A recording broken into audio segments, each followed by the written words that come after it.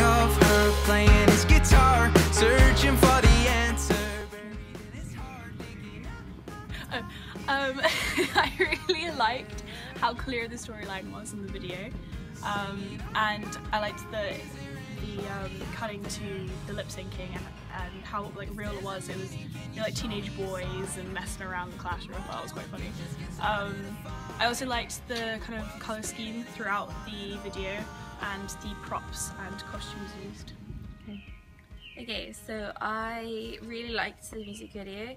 Um, I thought the storyline was really good and it, it, followed the usual kind of conventions of, a, of that kind of boy band pop video type thing. Um, I thought the lip syncing was really good.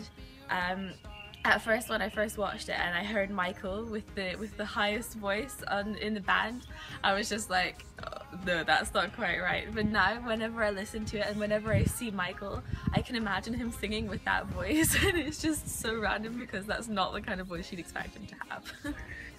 okay. Yeah. Okay, good. Oh, I didn't see you there. You might be wondering what I thought of Jemma Mills' media. I thought it was wonderful. The colours worked well together and the cast fit perfectly with their characters.